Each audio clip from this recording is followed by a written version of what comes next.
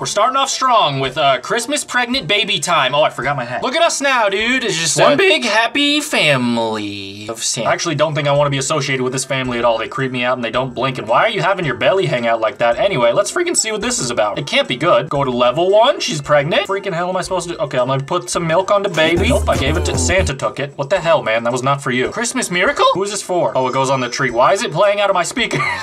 what do you want? Put this on? Cover up your freaking gut, thank you. And then milk it. This is the worst game in the world. How do you get to level two, do you think? Put the cookie in the in the man, and the, the dress on the woman, the milk in the man, and then the dress comes off the woman automatically. This game sucks.